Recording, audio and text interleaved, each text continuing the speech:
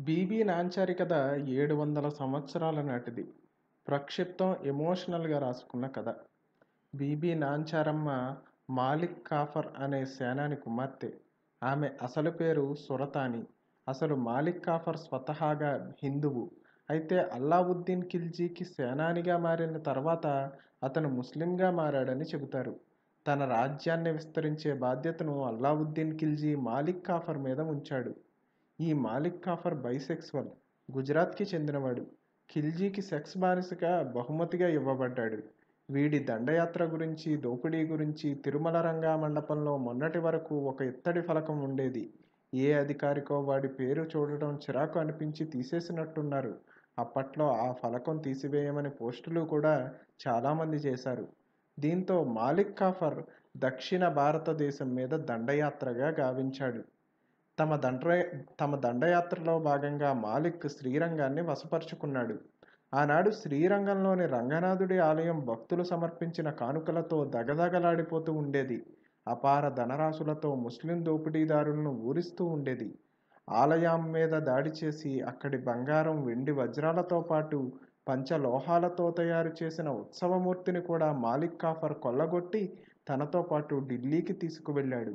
ఢిల్లీకి చేరుకున్న తర్వాత మాలిక్ కాఫర్ తాను దోచుకున్న సొత్తుని తన కుటుంబం ముందు గొప్పగా ప్రదర్శించాడు. ఇంతలో అక్కడికి వచ్చిన సురతాని రంగనాథుడి విగ్రహం పట్ల ఆకర్షితురాలవుతుంది. ఆ విగ్రహం తనకు ఇవ్వవలసిందిగా కోరుతుంది. కూతురు కోరికను కాదనలేక మాలిక్ కాఫర్ ఆ విగ్రహాన్ని సురతానికి అందచేస్తాడు ఇక ప్రతిరోజు ఆ విగ్రహానికి అభిషేకం చేయడం పట్టు వస్త్రాలతో అలంకరించడం ఊయల ఊపడం చేసేది. అలా తనకు తెలియకుండానే ఒక ఉత్సవమూర్తికి చేసే కైంకర్యాలన్నింటినీ ఆ విగ్రహానికి చేయసాగింది. అంతేకాకుండా భక్తి పారవశ్యంలో తనను తాను ఆ రంగడికి భారీగా భావిస్తూ వచ్చింది.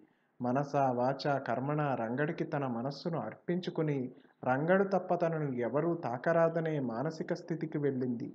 రంగనాథుని ఉత్సవ విగ్రహం లేని శ్రీరంగం వెలవెలపోయింది. దీంతో రంగనాథుడి భక్తుల ఆచార్యుల ఆధ్వర్యంలో ఢిల్లీ వెళ్ళి మాలిక్ కాఫర్ను కలిశారు. రంగనాథుడిని వెతుక్కుంటూ ఢిల్లీ వచ్చిన ఆ అర్చకులను చూసిన మాలిక్ కాఫర్ మనసు కరిగిపోయింది. దీంతో సంతోషంగా ఆ పంచలోక వి ఆ పంచలోహ విగ్రహాన్ని తిరిగి ఇవ్వడానికి అంగీకరించాడు. అయితే అప్పటికే రంగనాథుడి మీద ఉన్న మనసు పడిన సురతాని గురించి విన్న అర్చకులు ఆమెని ఆమె ఆదమరిచి నిద్రించే సమయంలో ఆ విగ్రహాన్ని తీసుకుని శ్రీరంగం బయలుదేరారు. ఉదయం లేచిన సురతానికి రంగనాథుడి పంచలోక పంచలోహ విగ్రహం కనపడలేదు. దీంతో ఆ విగ్రహాన్ని వెతుక్కుంటూ ఆమె శ్రీరంగం చేరుకుంది. ఆ క్రమంలో తన తండ్రి మాటను కూడా లెక్క చేయలేదు. శ్రీరంగం చేరుకుని అక్కడే స్వామివారిని సేవిస్తూ జీవిత చరమాంకంలో ఆయనలో ఐక్యమైందని చెబుతారు. ఇప్పటికీ శ్రీరంగంలో వారి నిలువెత్తు రూపాన్ని మనం చూడవచ్చు.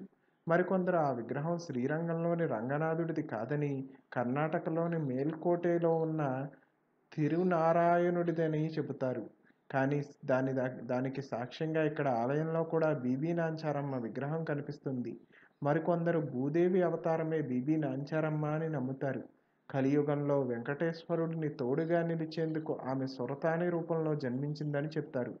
ఆమె తిరుపతిని చేరుకుని అటుపై భగవంతునిలో లీనమైపోయిందని నమ్ముతారు.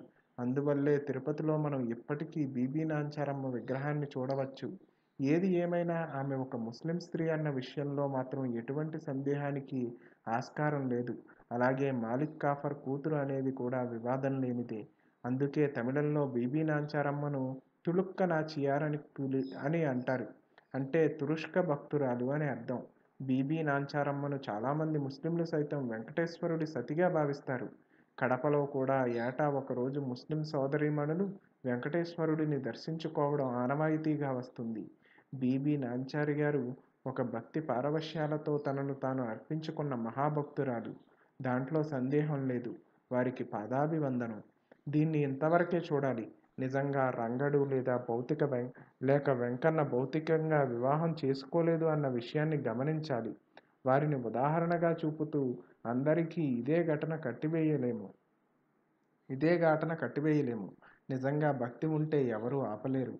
గురువాయూర్ కృష్ణుడు కావాలనుకుంటే జేసుదాసు గారినే రప్పించుకున్నారు.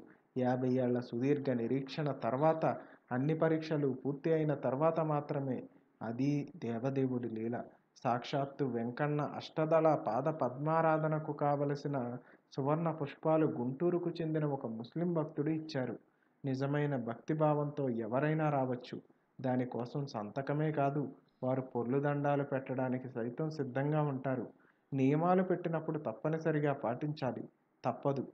దీంట్లో పెద్ద చిన్న లేదు. అగౌరవం లేదు కించపరచడము లేదు. అడ్డం పడుతున్నదల్లా అహంకారమే. స్వస్తి.